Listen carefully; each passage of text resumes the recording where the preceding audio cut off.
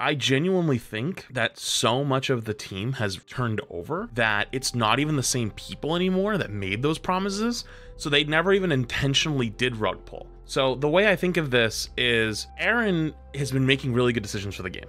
Um, I think when he made the decision to go back towards PvP, it was the correct one. That should have been made three plus years ago. There's a lot of things that have come since then, you know, whether it's uh, gameplay wise, like focusing on, on supporting the PvP game, like, you know, whether it's introducing new game modes, introducing new characters, like all of these things, like things that actually support it, well done.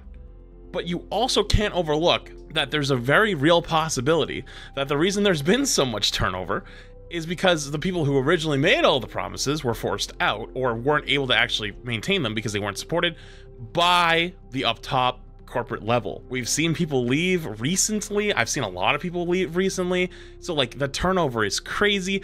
Also, there was things from Overwatch 1 like systems they talked about they had to rebuild. Part of that you almost wonder because I remember years ago um, people asked like, "Hey, can we get like legacy uh, patch game modes. Like, for example, like we all go play goats for a month, right? Like it's an arcade game mode where you go play goats. And they couldn't do that because they didn't have the data for like what those patches were. And people from the workshop can go make it. Like all you got to do is go dig through the forums and go find like old patch notes and put it together yourself. But they don't have all of that, which just makes it funny to me. You know, and then you look at things like that, the recently like the Ashe bug that got fixed and then reverted. You know, like about Bob doing damage or getting ult charge and then not getting ult charge. It's legitimately such a different team that they don't they don't even know about these these promises that were made or existed or even these systems that might have even existed in the past. So part of me wants to give them a pass, you know, and like not think it was in like they weren't intentionally trying to rug pull. And at least not the current team. Um, because I, I have a lot of respect for a lot of people that are there now and they do genuinely try to listen. Not saying all the time it happens, but like, you know, they do make a good effort and I do appreciate that but at the same time no it's another it's a billion dollar corporation that very much wants to, to, they want to make all the money off of us that they can. And i think you're right. Pve isn't the focus anymore and i think that's a major mistake. I think that it had the potential to double its player base almost overnight because you wouldn't just have all these pvps tryhards you would also have the PvE enjoyers that just want to like, you know, they want to just they want to enjoy Overwatch. And I genuinely believe I am one of these people nowadays where I don't like Overwatch anymore. I like the idea of Overwatch. What Overwatch is as a universe, as a community. What like what what happens with news, balance, like everything that encompasses Overwatch, I love. But actually playing the fucking game sucks balls. Like it's ass. I don't know what it is, but like it is just awful nowadays. And I wonder how many people are kind of like that and do love Overwatch that don't play it anymore because they've already went to go to another game that actually made them feel wanted slash actually was supporting their game for the last few years. It could have expanded this to so many more people and myself and others I think really looked forward to that.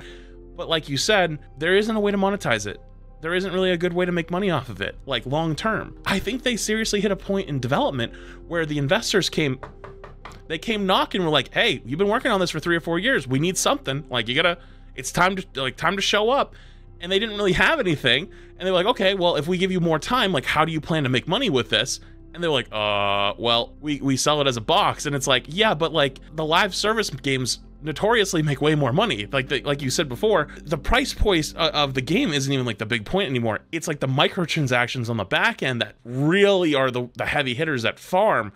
And because they already have it, how are they going to monetize it? Like in a perfect world for both Blizzard and as a player, how do you monetize PvE? For a player, it's very easy. Make it free. Boom. But on the Blizzard end, th this is their best possible outcome. Like the only thing that they could do that wouldn't just sink it is releasing it all at once. Like if they released it all at once at like a $60 price point, people would probably go bananas like what you want like a campaign for 60 bucks? Like fuck off. But instead they release it in these very small bunches.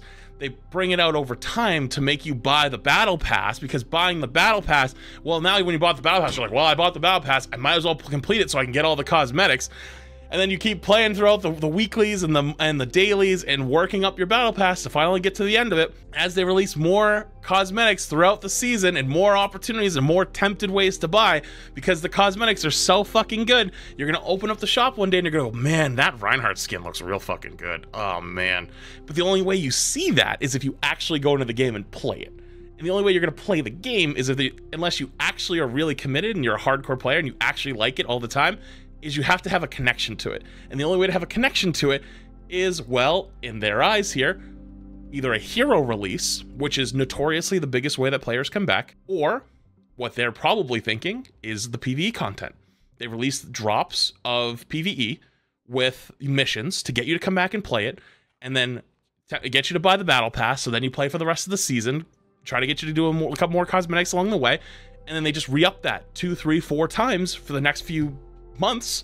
And they've built out a method where they not only capitalize on you paying for PvE, but also hopefully tempt you into, well, now you'll buy the battle pass because you're already here and you're getting XP for playing the campaign missions, right? They, they mentioned that.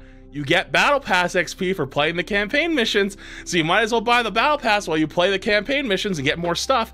And then once you finish all that stuff, you might as well finish the battle pass and do your dailies and weeklies. And while you're doing your dailies and weeklies, the shop items are coming up, and it's like, well, more opportunities to spend more money so it's just it's tiring at this point it's so tiring there is no world where pve would have been a good monetization model so i think they just kind of were like well we're never going to be able to make it in time it would require way more dev resources than we're willing to to make and so like you said they changed the way the wording was for it and instead of being a wow expansion pve overwatch style thing it's now a campaign but they kept the wording for pve because that's what they had always called it. But I agree with you. It is not PvE. It is the Overwatch 2 campaign.